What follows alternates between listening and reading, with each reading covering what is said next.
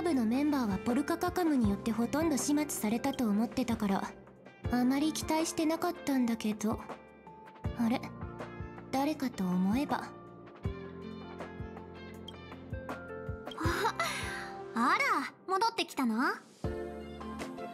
もちろん。3人の天才が集まるんだから。今はちょうど特別な時期だから各課が天才クラブの大物を迎える準備をしてるのよミス・ルアン・メイは控えめな人だから大勢での出迎えは好まないかもしれない。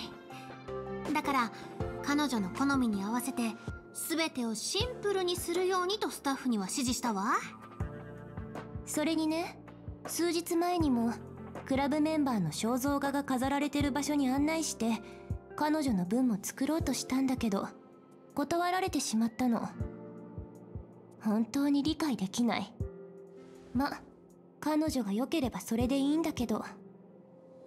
ミス・ルアン・メイはお菓子が好きだって聞いてるからスタッフたちにブルーの伝統的なお菓子を用意させたの。どのお菓子もとても気に入ってもらえたみたい。まあ会えるんじゃない？自分で探しに行けば。ここへ来るなり研究のための位相霊下を借りてそのままどこかへ行っちゃったから。ミス・ルアン・メイは本物の学者よ。以前彼女は休憩でとある砂漠の惑星に立ち寄った時にその地の種を反映させるっていう奇跡を起こしたらしいわ。多分ただ何もない場所で自分の生命螺旋システムを試したかっただけじゃない？ルアン・メイは才能があるけど残念ながらほとんど人付き合いをしないし隠居じみた暮らしをしてる。要するにあなたはこれだけを知っていればいいの。彼女はこのヘルタの学術パートナーになれるくらいの人物だってね。さあ話を聞いたら出発して彼女を見つけられるといいね。わからないわ。でもミス・ルアン・メイは日常茶飯には興味がないみたいで普段は主制御部分やホームにしか出入りしないの。その辺りを探してみたらどうかしら。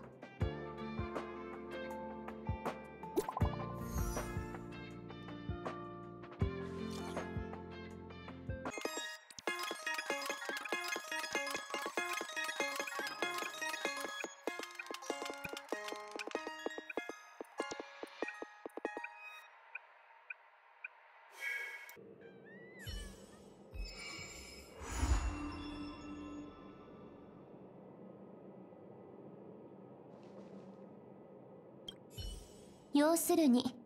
あなたはこれだけを知っていればいいの。彼女はこのヘルタの学術パートナーになれるくらいの人物だってね。さあ話を聞いたら出発して。彼女を見つけられるといいね。ホームの端に誰かいる。もしかして彼女が？この方向なら成功するかもしれないな。戻ってデータをチェックしよう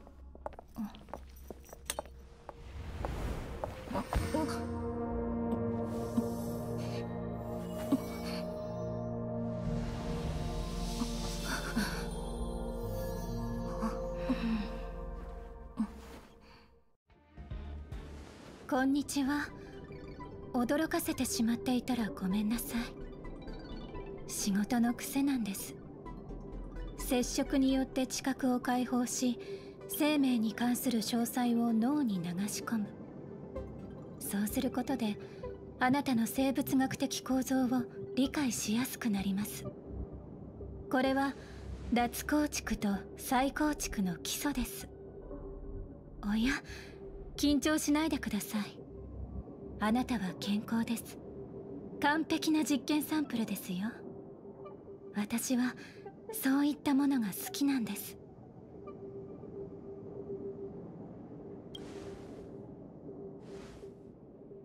え本当ですか？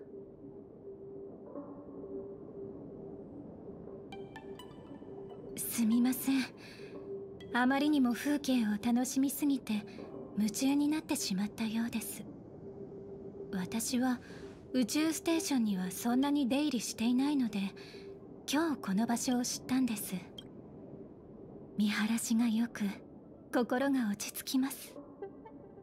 蓮の葉梅の花もち米それからアイシングの香りにぴったりです。ここにいらしてください。ほらブルーの惑星が足元に見えるでしょ。生き生きしていますよね。あこのデザートも美味しいですよ。半分どうぞ。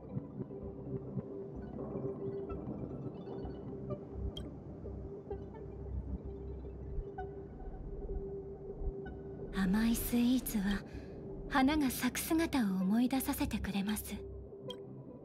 一口ずつ食べていくとその香りが口の中に広がっていくんです。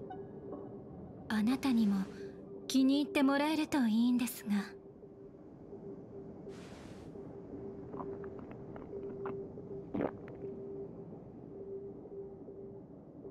美味しいですか？次回はもっとつけておきますね。スティーブン・ロイドの元を訪ねる時はいつもイチゴのお菓子を持っていくんです。そうしないと顔を出してもらえませんから。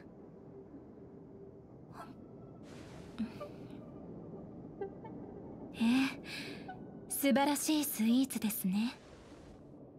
角砂糖 10g 乾燥させた塩漬けの梅の花。焼き菓子作りと料理は宇宙を育てるようなものです。火加減を調節し司祭を考えいかなる状況に遭遇しても慌ててはいけません。残念ながら宇宙ステーションは人が少し多すぎます。喧騒はお菓子に最適とは言えません。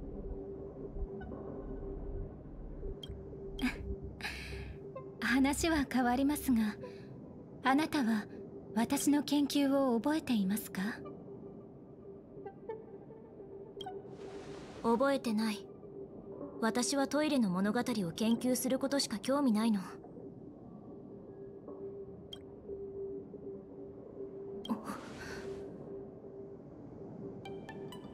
どういうこと？私何を言ってるの？そうなんですか。かわいい趣味ですね。ただ今後同じようなことが起きた時は事態を理解するまで表情に出さないようにしてください。さもないと。全身が好きだらけになりますよ。もう一度やってみましょう。まだ何か聞きたいことはありますか？美味しいお菓子だね。もっとくれない？どうして思ってることが言えないの？食いしん坊な方ですね。いいでしょう。レシピを教えてあげます。私と一緒に歩きましょう。美味しいお菓子を食べた後は散歩が最適ですよ。暇つぶしにもなりますし。人がいなくなるとここはとても静かですね。まるで以前行ったことのあるノーマンズランドのようです。あなたは生命が存在しない世界を想像することができますか？そこでは地平線の果てにある恒星が見えます。巨大なターコイズブルーの恒星が奇跡に沿って動き盤上の光の下には白くぼんやりした大地だけが広がっているんです。私と母は静かな氷河を生き世界中を旅して生命の痕跡を探しいろいろ不思議申し訳ありません。少し難しい話をしてしまったようですね。緊張しないでください。私に敵意はありませんしあなたの言語中枢に手を出すなんてあまりに失礼です。ただちょっと薬を加えただけですよ。数日前私はヘルタにあなたに興味があることを匂わせました。模擬宇宙での数少ない接触によって確信したからです。あなたは私の助手にふさわしいと。でもこの世界に漏れない秘密などありません。だから私は自分以外の人間をあんまり信用できないのです。緻密な研究をしている時に間違ったデータが一つでも混入すると大きなトラブルになりますからね。コントロールできない問題は嫌いなんです。ですからあなたに渡したお菓子に反自白剤を加えました。体に害はありません。ただあなたが私の質問に答えようとすると本当の気持ちを話せなくなるだけです。私の研究を守りつつあなたの身を守るための一種の保護機能だと思ってください。一切の面倒事が解決したら解毒剤をお渡しします。それに見返りとして報酬も渡しますね。あなたの望みを全て満たしてあげましょう。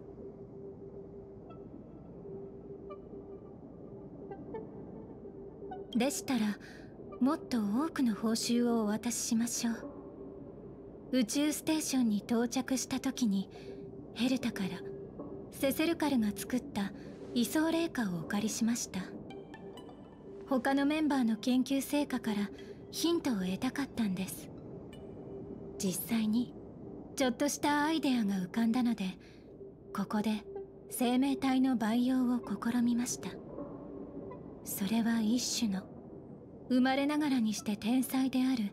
新しい生命体になると思ってました。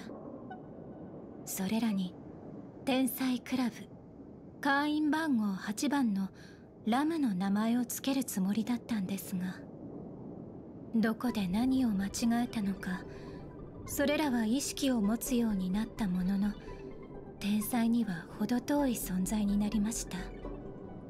しかも私の放任主義は逆効果だったようで先日新しく育てた数体の小生命体が脱走してしまいました。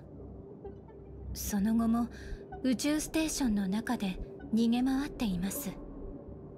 ヘルタやアスターには介入してもらいたくなくて。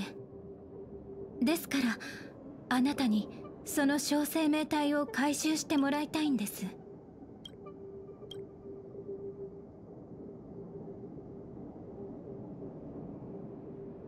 この件は彼女たちとは関係ありません。それに関係者が増えると面倒なことになりますから。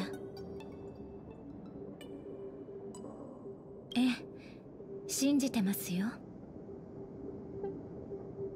宇宙ステーションのスタッフたちはまだそれらを訪問客だと思ってるはずです。多くの人を驚かせて不要なトラブルを起こしたくはありません。よろしくお願いしますね。回収した小生命体はどこかに収容すれば大丈夫です。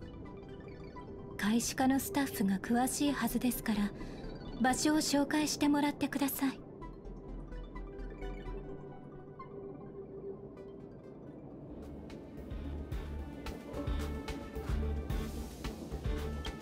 人がいなくなるとここはとても静かですね。まるで以前行ったことのあるノーマンズランドのようです。そうです。私と母はそこで11もの長い極夜を過ごしました。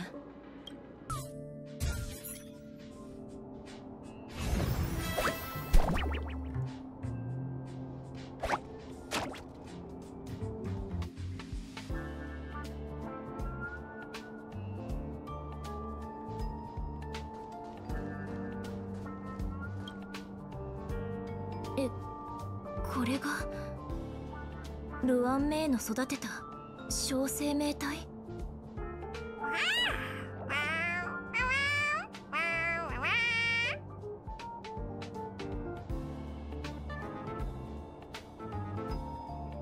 チーズフォンデュケーキ様お目にかかれ光栄です。おい何をぼんやりしてるんだ？ああチーズフォンデュケーキ。私は天才。天才の中の天才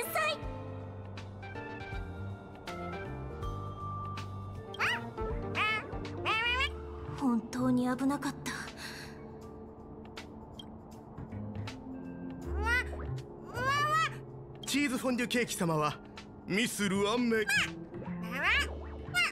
チーズフォンデュケーキ様はミスチーズフォンデュケーキ様はミス・ルアンメイは自分には一つの思いがある。創造主よ世界にとって君そこの君だ。チーズフォンデュケーキ。あんたは分別のないお菓子だよ。ルアンメイに関することは言えないのを忘れてた。ミス・ルアンメイはお菓子の味にすごくうるさいんだって。ねえ彼女の好きなものを知ってる？彼女の好みはわからないけど私はスイカ味が好きだよ。やっぱり彼女に関することは何も言えないみたい。あんたはどうでもいいの？早くどこかへ行って。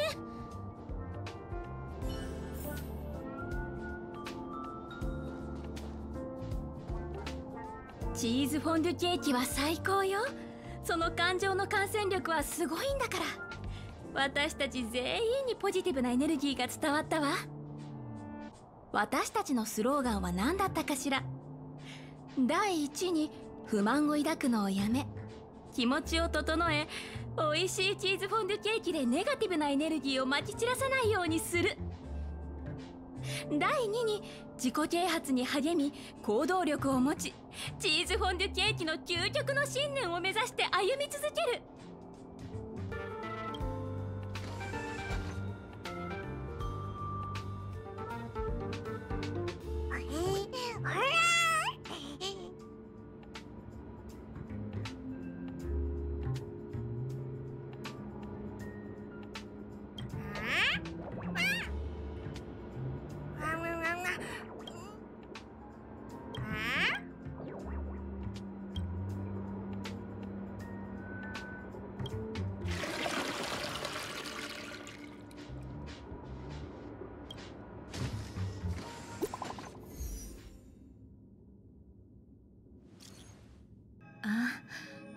来てくれたんですね。重要な議題があってヘルタが私とスクリューガムを宇宙ステーションに呼び出しました。スティーブンにも連絡したんですが返信がなく。ヘルタは待ちきれないそうです。そこで私と一緒に来てもらいたいんです。どうでもいいようなことでヘルタの心を痛めたくないんです。彼女はほとんど気にしないでしょうが。念のため私の話をサポートしてくれる人。つまりあなたが必要なんです。私の手伝いをしてください。とても簡単ですよ。まずは私に関する秘密を漏らさないこと。次に余計な質問をしないこと。最後に自分の表情をコントロールすることです。え？えでは行きましょう。来たんだね。ルアン・メイ。待たせた？あれ？あなたも来たの？なんだか仲良くやれてるみたいだね。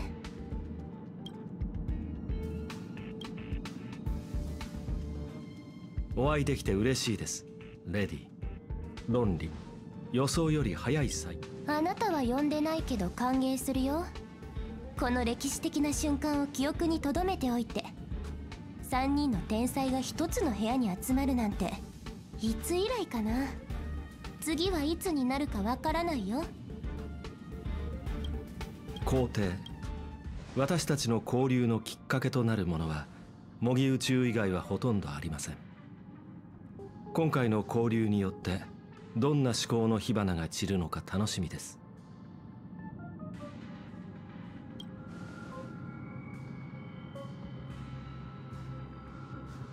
じゃあ単刀直入に言うよ。そろそろ模擬宇宙の仲間をもう一人増やすべきだと思うの。スティーブンを外すつもりですか？まさか。スティーブンはこの件に関わりたくなかったみたいで投票を放棄したの。それ自体は別に構わない。私は個人のライフスタイルを尊重するからね。でも彼がこの決定に関与するチャンスはもうないよ。質問。模擬宇宙に5人目の協力者を引き入れるのですか？そう。5人目の天才私たちがここに集まっている理由も分かってるでしょ？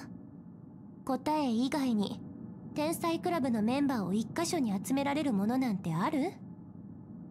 アイオーンの秘密を拒める者なんていない。ザンダーでも無理だよ。誰かが私たちに応じるはず。やってきたのがポルカカカムだったら。願ってもないじゃない。ロード・オブ・サイレンス聞こえる？私はヘルタ。あなたに会いたいの。私たちには共通の話題がたくさんあるはずだよ。ボルカカカムは応じないでしょう。彼女は長らく音信不通になっています。確率。原子博士なら現れる可能性があります。ああそれはダメ原子博士の悪名高い研究の数々には目をつぶっても彼と巡回レンジャーの確執を考えればカンパニーが騒ぎ立てるはず。模擬宇宙が妙な世論に巻き込まれるなんて絶対嫌。ヨセイとは？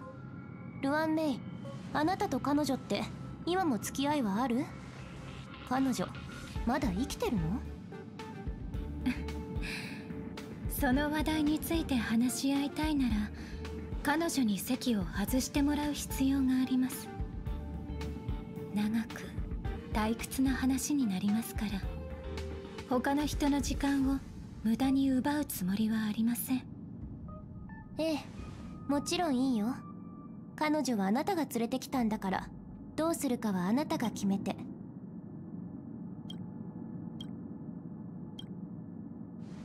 さあ私が送りましょう。そうだ。これは何？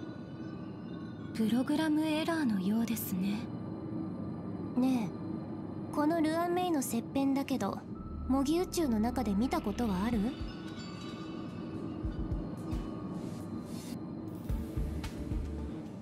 模擬宇宙は私の家だよ。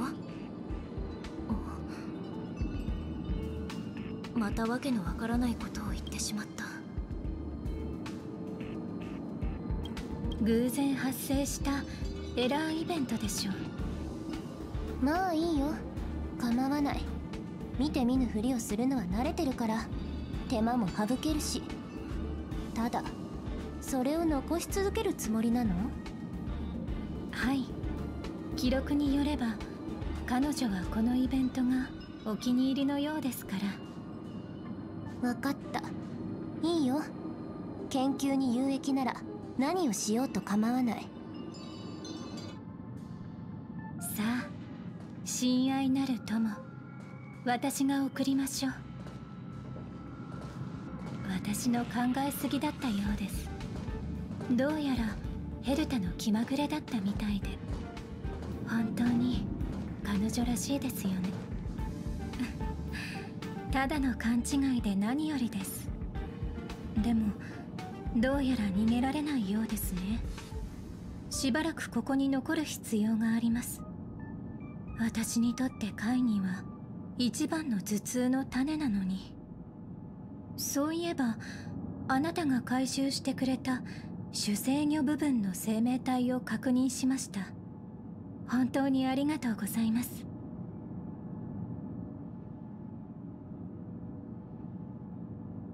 いいえそれは誤解です。ただヘルタが会議をしている時間を使えばあなたはもっと自由に宇宙ステーションを探索できるでしょう。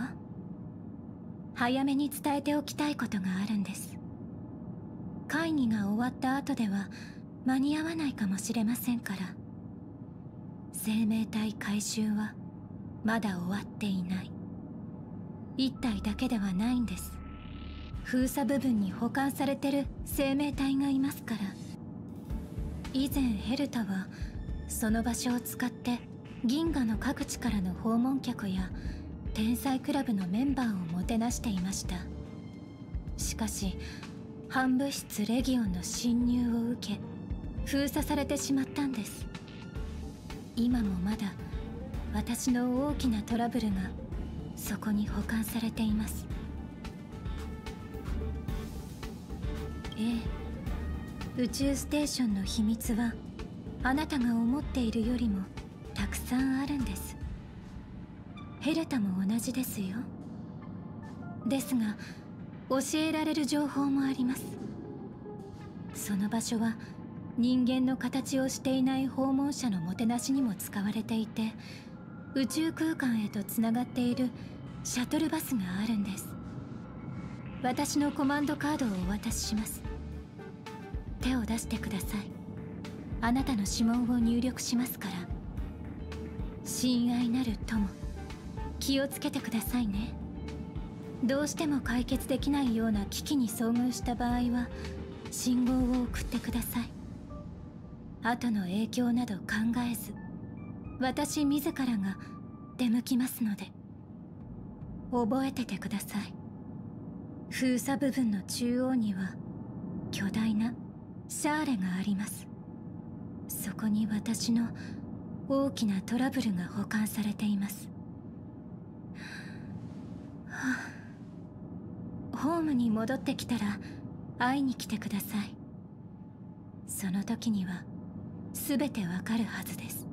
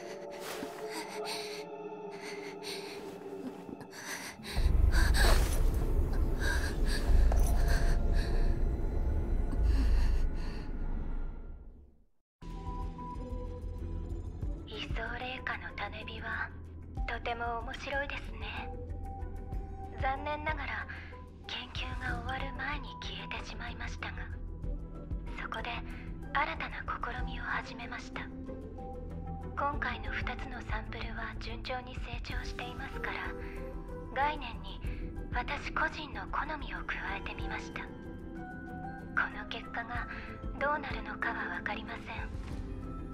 同時に2つの感情的な特徴を持つ彼らは可愛らしく弱く繊細で涙もろい反面凶暴でそそのかしたり横暴だったり自信を持っていたりします。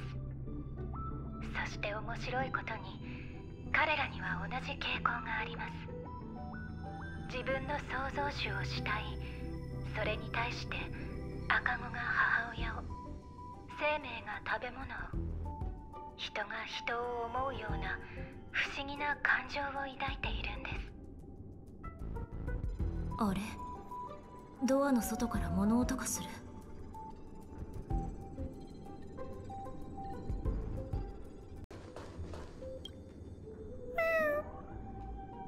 これがルアン・メイの言っていたトラブル？味を変えただけじゃん。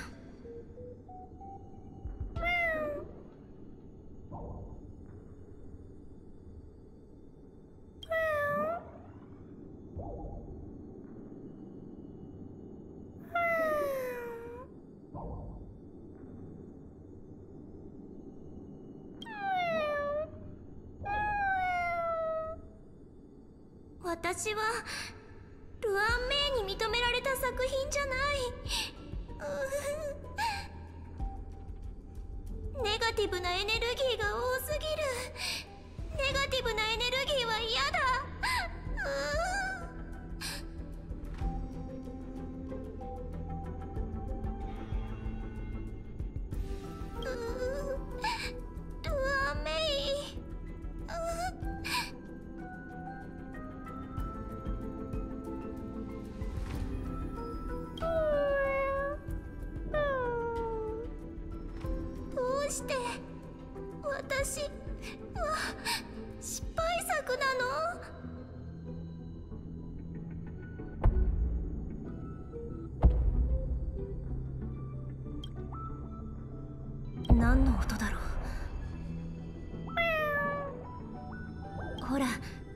ておいで。大丈夫だから。この子を落ち着かせる場所を見つけないと。さっきの音は近くから聞こえたよね。鍵のかかった部屋みたいだけどどうやったら入れるんだろう。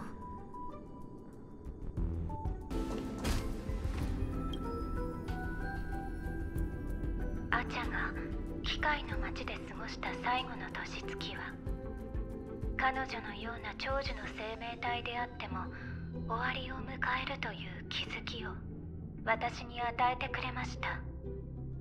今回の培養結果は不合格だったと断定できます。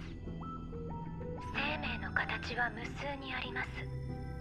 だからこそあり方自体には何の意味もないと証明しているのです。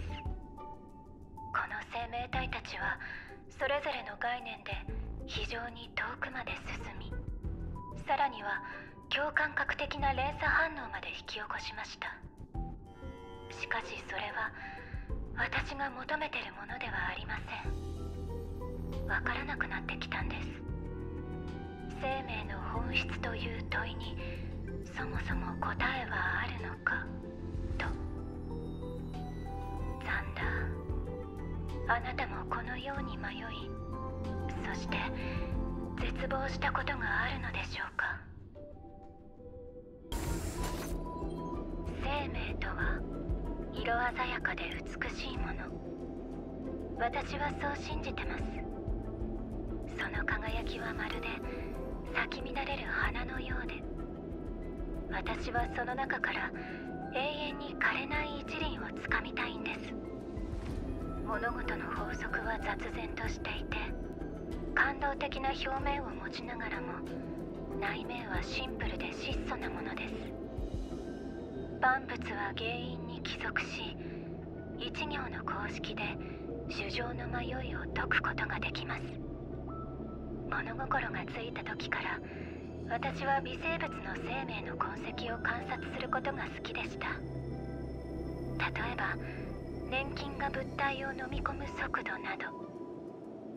私は広大な世界を見渡し宇宙の進化過程を学びました。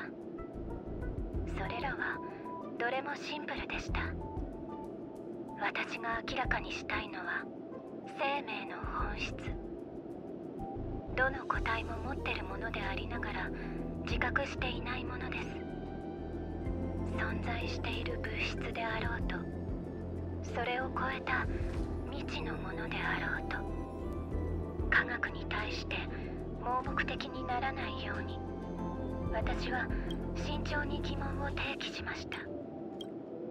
果たしてルアン・メイは座標軸のように外部の混乱を剥ぎ取り生命の最も美しく根源となる存在のあり方を明らかにできるのでしょうか。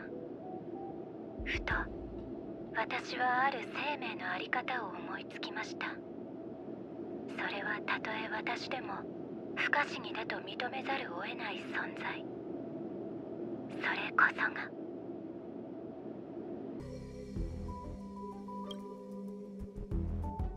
この子に良さそう。少しここにいよう。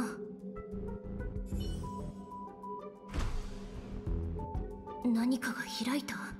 これは？私はある生命のあり方を思いつきました。それはたとえ私でも不可思議だと認めざるを得ない存在。それこそが指令です。指令とは何なのか私は理解できていません。学者はそれをアイオーンの力の代行者とみなしています。ではそれはいつから？そしてどの点において他の生命体よりもアイオーンに近くなったのでしょうか？最初に私は天才を育てようとしました。でも失敗しました。この問題はまだ未解決で探索には長い道のりが待ち受けています。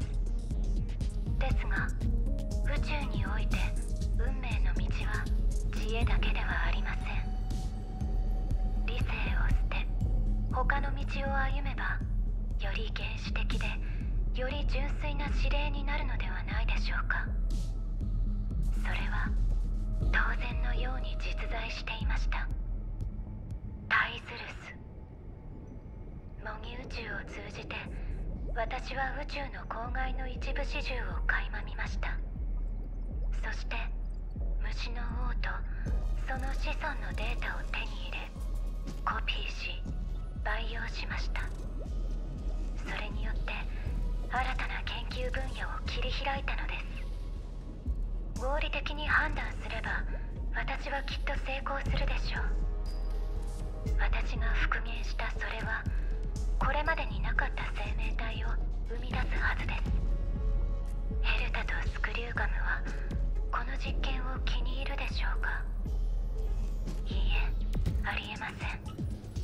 ですから彼らが気づく前に急がなければ。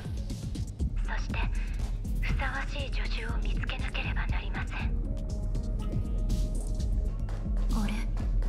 遠くに誰かいるみたい。誰だろう？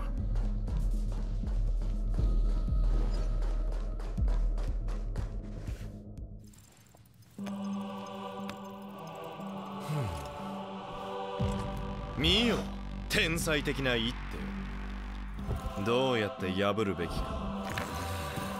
そう聞くのはアホだけだ。ここに打ちさえすれば。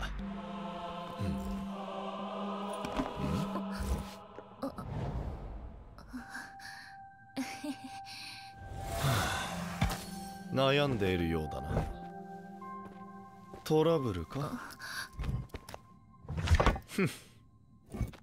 それなら自分で何とかしろ。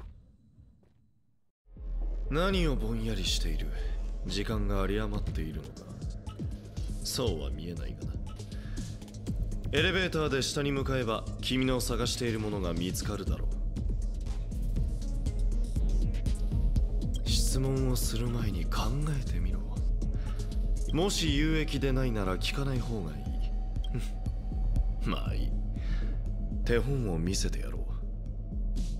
僕は君を知っていて君がルアン・メイのために僕の目的は君と大体同じで君が来た以上僕は干渉しない。以上君はこれだけを知っていればいい。アホを視界に入れたくないからだ。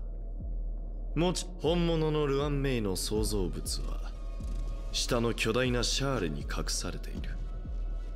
行くといい。このエレベーターに乗り天才の傑作を見届ける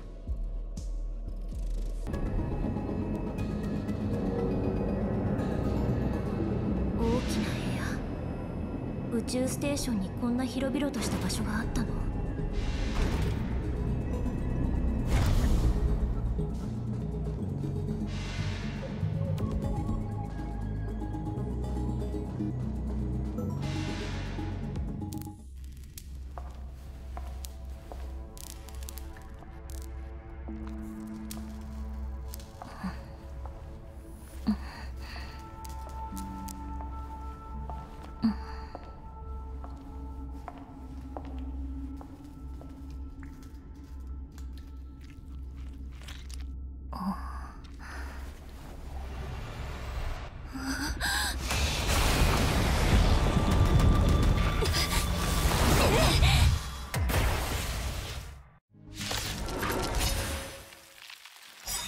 繁殖の指令のクローン。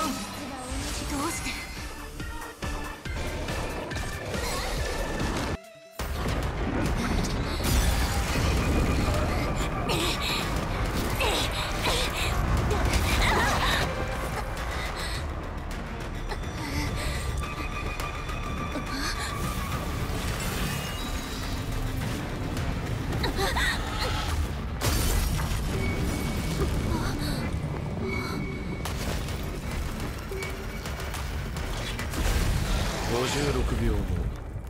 それは自身の存在を維持できず消えてしまいました。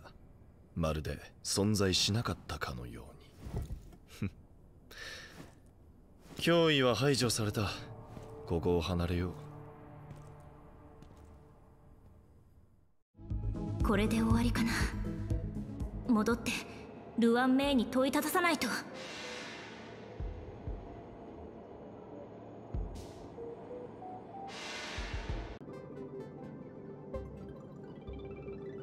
天才たちの会議は終わりました。模擬宇宙の未来については結論は重要ではありません。重要なのはあなたの方です。どうやら怒ってるようですね。申し訳ありません。何も弁解できません。これまで無数の実験に失敗してきましたが結末も全て予想の範囲内でした。私はクローンを作り出しましたがそれとあの指令は結局似ても似つかないものでした。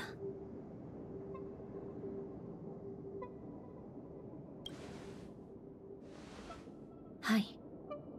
計算結果と一致しています。56秒。寸分の狂いもありません。時間と場所の制約によりその生命の編成は中途半端なものになってしまいました。私はそれが誕生する瞬間を再現しましたがすぐに粒子となって消えていったんです。全ての生命の在り方と同じように終点に向かう過程で徐々に結末を迎える。それを排除するつもりはありません。しかし短い一生にも意味はあるはずです。私はそれが何を成し遂げられるのかを知りたいんです。それは私が未解明の領域からどれだけ遠くまで外に出られたかを示してくれますから。取るに足らない一歩。予想通りの答えです。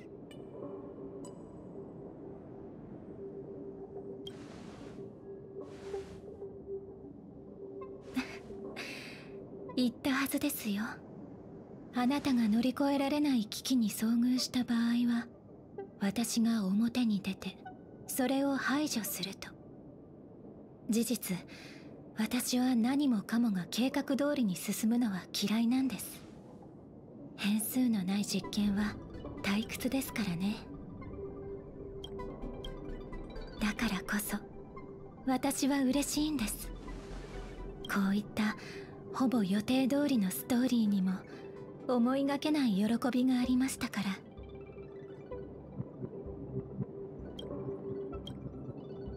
庭の中で誕生したこの子たちには時々心を打たれます。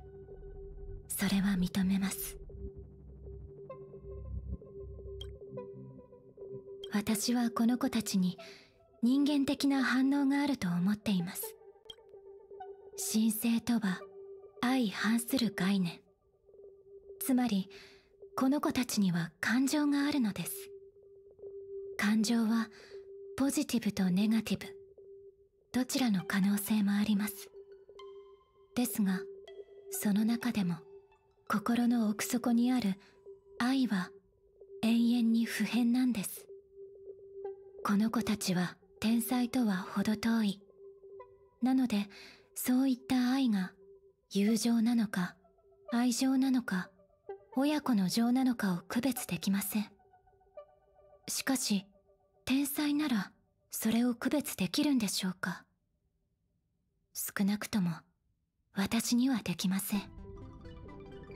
私は愛が何なのかが分かりませんしこの子たちの感情に応える術もありません。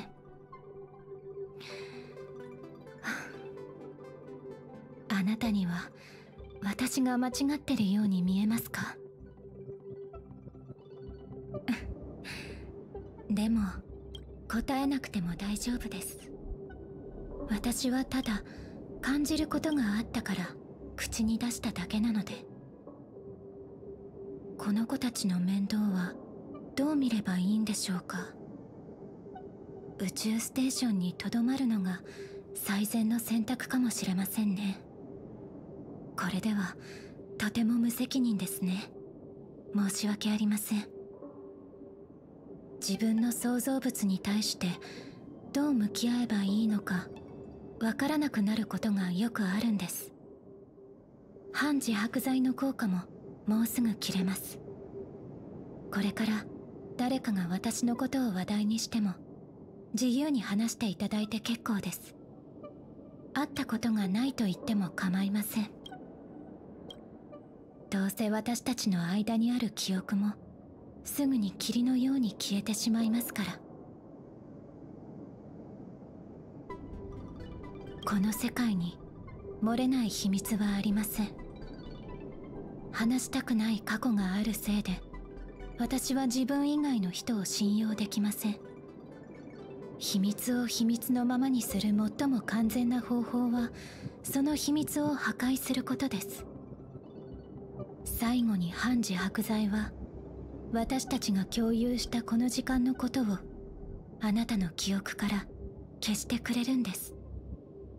その効果に即効性はありません。ゆっくりぼんやりとした過程なんです。まるでハスの葉梅の花もち米アイシングの香りのように。誰かが宇宙ステーションで自分勝手な実験をしていたことを思い出すかもしれませんがそれが誰なのかは忘れるでしょう。もしかしたらいつの日か私たちは再会するかもしれませんが私とこの件を結びつけて考えることはないはずです。こうして生命同士のつながりは消されるのです。友情。秘密葛藤欺瞞全てが煙のように消えていきます。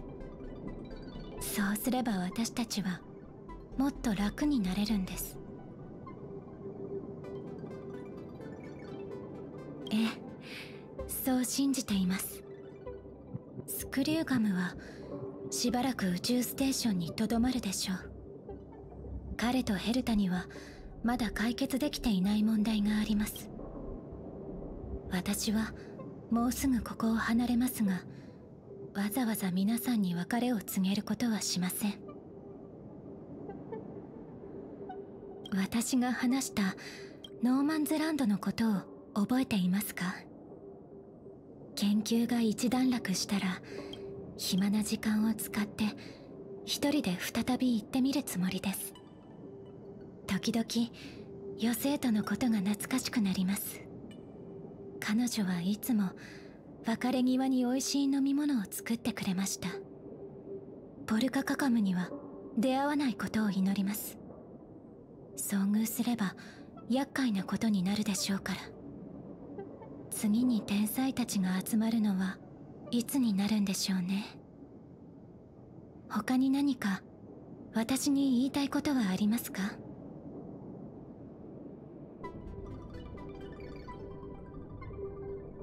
答えが難しい問いですね。ありがとうございます。私の助手さん。聞会があれば。そしてあなたが望むのであれば。またいつか出会った時一緒にノーマンズランドへ行き穏やかな氷河を旅しましょう。しかしそうなるとそこはノーマンズランドではなくなってしまいます。実に難しい問題ですね。